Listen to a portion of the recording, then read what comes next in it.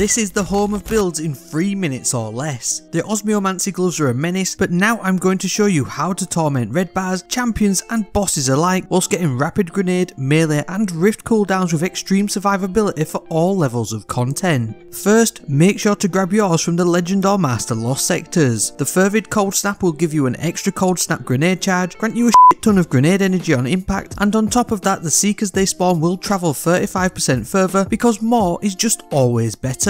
These make Cold Snaps perfect for pushing into an area, shutting it down and freezing everything with 2, 3, 4 or even more grenades available at any given moment. Fortunately, that's not all, because with Season 19 full auto is on the menu for every weapon, and this makes Cryosthesia the perfect exotic weapon to pair with this setup. Its ease of use factor has gone through the roof because of this updated setting, and with this build constantly shattering frozen targets from both cold snaps and the liquid cooling LN2 burst alternate fire mode, this exotic will never need fully reloading thanks to its cold efficiency catalyst. It will freeze and destroy waves of ads which will help with your rapid ability cooldowns in this endgame ready Shadebinder subclass and mod setup. Ice Flare bolts will boost the constant freezing ability we've already set up with this exotic combo, and the Glacial Harvest aspect is not only going to boost your Penumbral Blast melee cooldown by collecting stasis shards on freezing targets, but it'll also grant you a stacking overshield with the Whisper of Rime. Whisper of Hedrons is essentially always on with this setup too. It gives you huge weapon handling boosts as well as the significantly slept on 60 stat points it grants to your mobility, resilience and recovery on freezing targets. Whisper of Chains will even add bonus damage resistance when nearby frozen targets, stacking with a high resilience setup.